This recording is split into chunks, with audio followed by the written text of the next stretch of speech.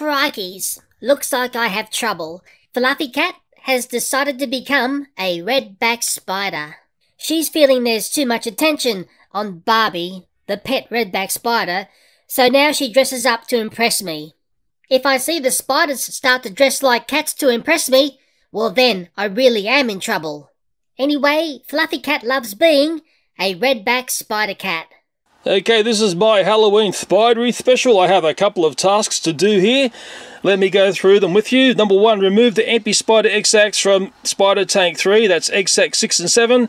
Number two, inject those Spider egg sacs for weight. I'll explain that when I do it.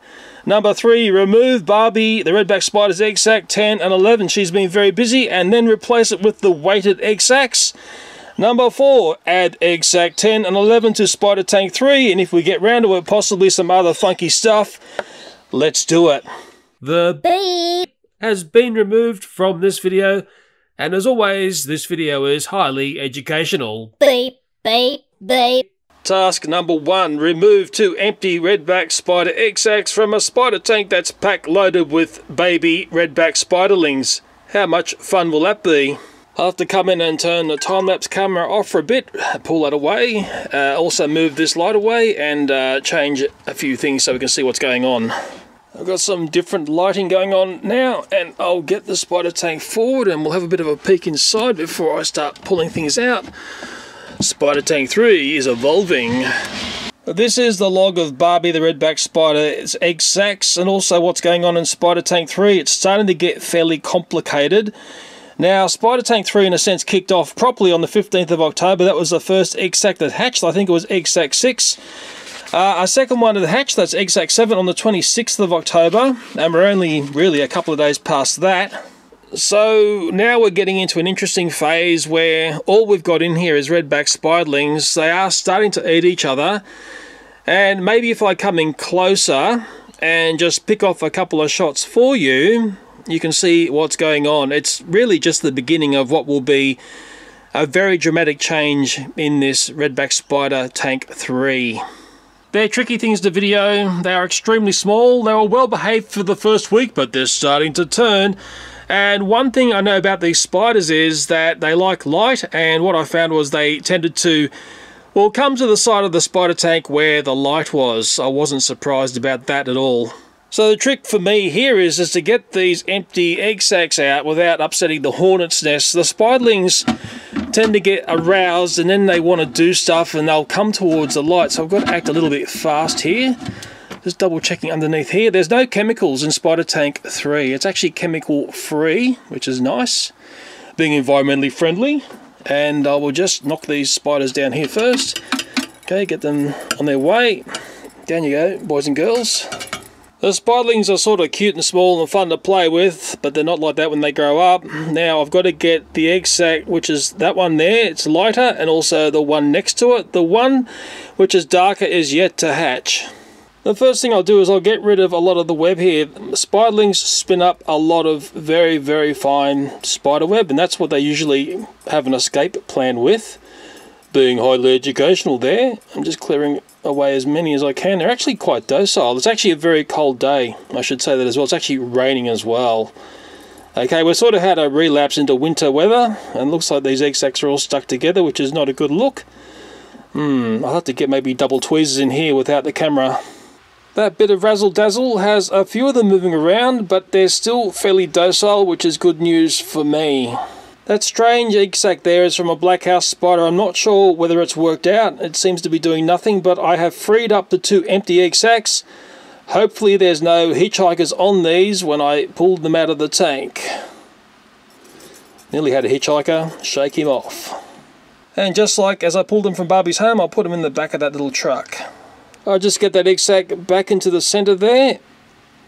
And that's task number one of today's spider escapades. The next task is to fill up these empty redback spider egg sacs with some filler. People were suggesting to me silicone, but I wanted to use something a bit less chemical in a sense. And I've decanted some of this stuff into that to help me get it into that there. I'm just opening up one side of the egg sac here and I thought to myself, thank goodness I'm not using silicon. Imagine if the YouTube algorithm heard something like silicon injected egg sacs. I'd be in crisis mode. And I'm just going to put a little tiny bit of this stuff in just to give it a bit of weight. Okay, that should be enough. Yeah. Now I'm just going to seal this up. Now the theory behind this is Barbie will think this is a loaded egg sac and she won't be as depressed once I take those other egg sacs away and put these loaded ones in which are actually blank egg sacs. I should also put some texture mark on these so I know these are the blank ones. And this is injecting the second one. What did you do today down your garage? I can hear my wife asking that, and I'm saying, Well, you wouldn't believe what I was up to today. If I told you, you'd think I'm crazy. Okay, I've got my weighted and injected spider egg sacs. Also got texture marks on them, and the next thing to do is to swap these out with the real redback spider egg sacs that Barbie has produced. I'm out of Barbie the redback spider's home. I've actually brought along some treats for her. They'll be distractions, I hope, and also the loaded egg sacs. It is raining and that always adds to the fun, doesn't it? I've got an umbrella above me because I've got a camera that doesn't quite like the rain. Okay, I can see the egg sacs and Barbie's down there. And what I tend to do, checking everything as I move things, is I put this underneath there. Barbie's moved directly to the egg sacs to protect them. Crikey, she's getting big. Uh, she's nearly 11 months old. So um, she's a stunning spider, I tell you, and uh, I know her very well now. I better put a distraction in, I think, to uh, get away from the egg sacs. These beetles are all through the garden. That's very much what Barbie enjoys to eat. I'll grab that one there. And I'll just put it into the web uh, somewhere around there. Okay, see what happens. Okay, the beetle's making a move, but so is Barbie. Oh, the bunch of the beetles just dropped out. Have to do it again. I got the beetle in there a second time, and Barbie immediately went for that beetle. It got into some very webby areas, and I'll just get Barbie um, occupied there before I come in and make my move.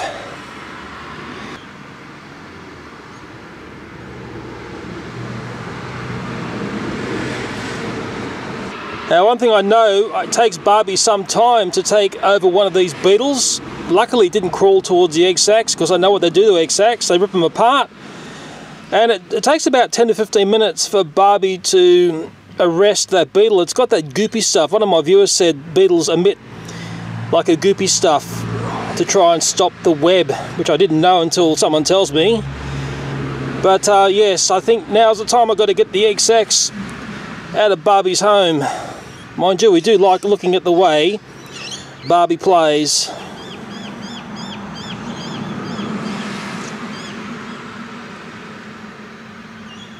Okay, while Barbie is very, very busy there, I'm going to come down and I'm very quickly going to grab this egg sac right here, just making sure I don't pinch it too much, and pull it straight out. Okay, I've got it. That's the first one out.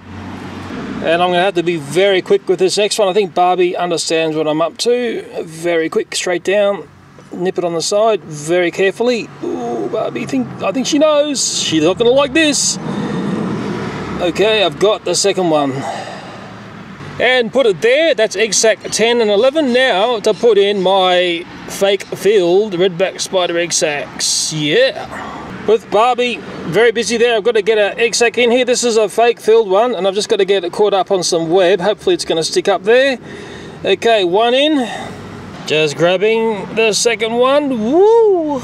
With Barbie still busy with that beetle. As I thought she would be, I'm going to put the second egg sac in. I'm just going to get it caught up on some web.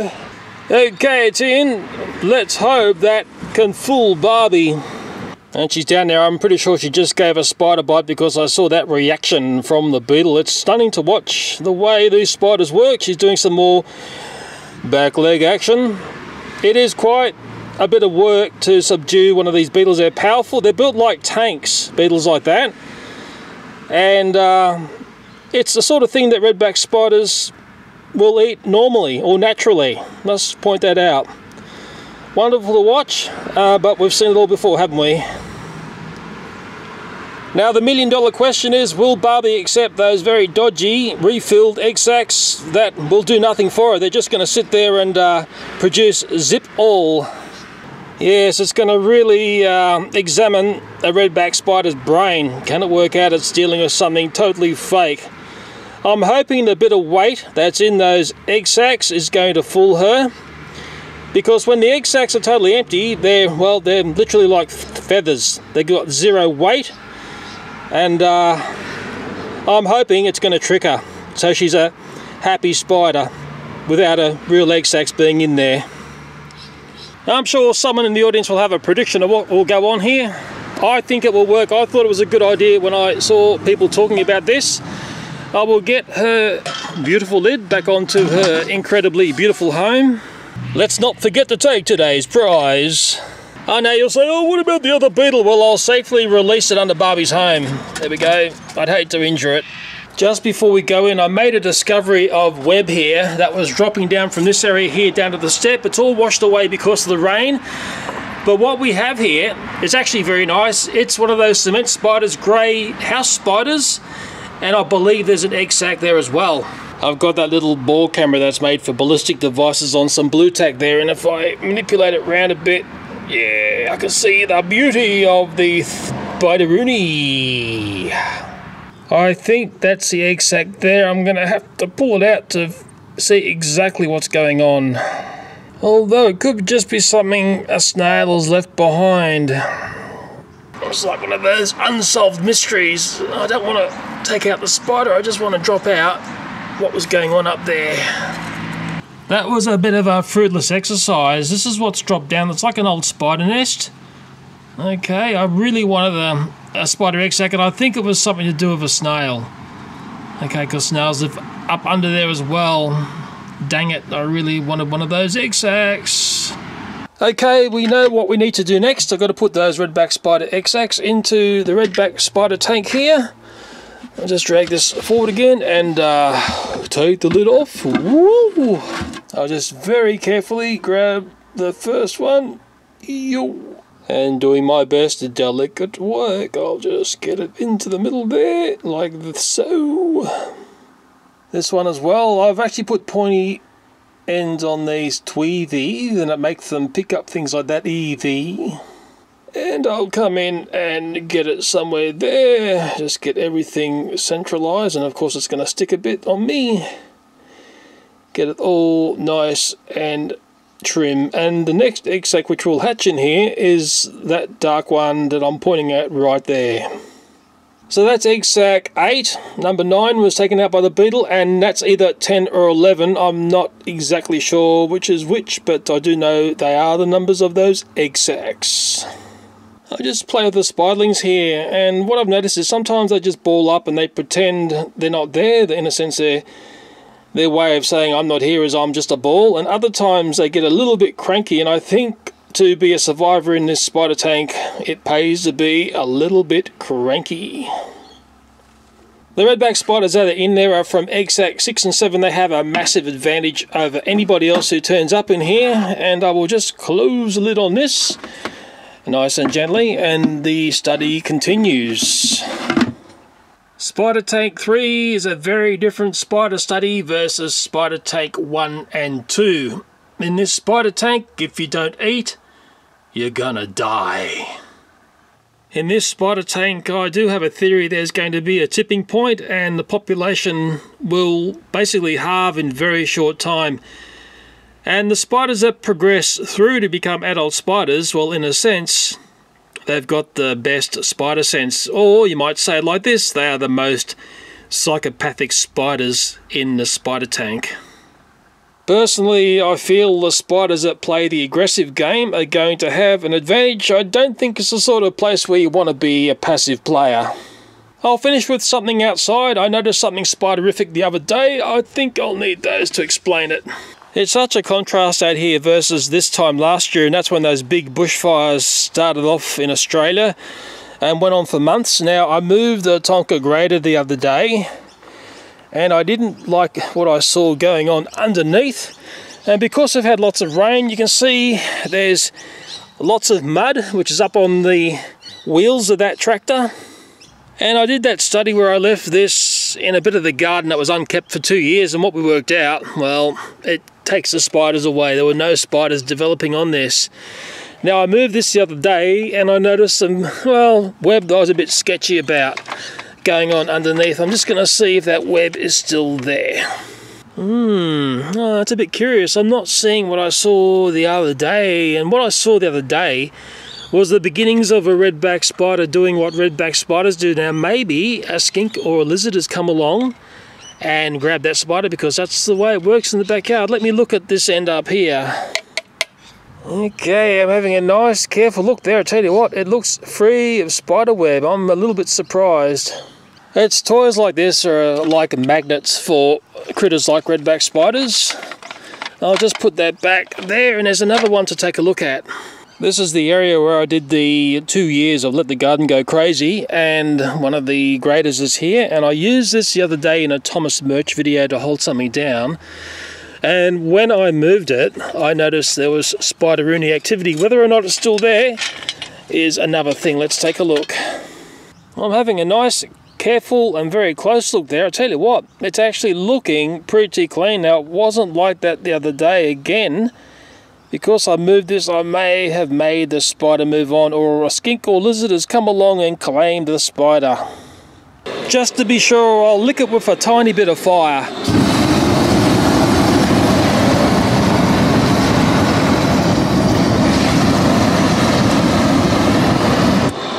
Okay, dusted. And to play double safe, I'll give that one a lick as well.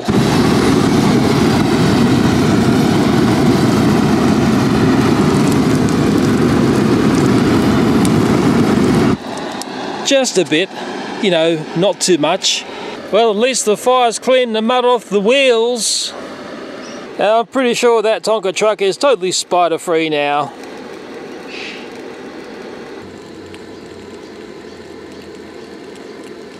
Okay, it's Halloween. Let's check up and see how Barbie's accepted those fake egg sacs. This is a couple of days after I did the egg sac swap, and I'm keen to come in and do it on Halloween because I know people say, Oh, it's on a Halloween video. This is shit on Halloween.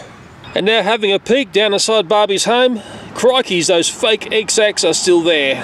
I came back here because I'm sure someone would have asked the question, what happened with the egg sacs? Uh, this is uh, two days after I put them in. I hope I got the dates right there. And I'm just seeing if Barbie's going to be protective of these. She has moved them. They are in a different spot. They've come up a bit and they're closer together than the area where I put them in. Let's just what, what she does if I come in and just razzle them a bit. Hmm. I'm, I'm surprised they're still there because if she knows something's a bit dodgy, she will just dump it out of the spider nest. I know that's what these spiders tend to do. She's actually staying down below the egg sacs there. Crikey, I can't believe it. I think I've completely fooled her. Look at that. She's coming in and protecting those fake egg sacs. They're just filled with uh, a filler. Now, that is astonishing. I really, I really thought she would have worked out what was going on. That is completely spiderific, miraculous. So there you go, seeing is believing and I can't make spiders act. The spider has just done what they instinctively do when they feel their egg sacs are being threatened, they go up and they try to protect them.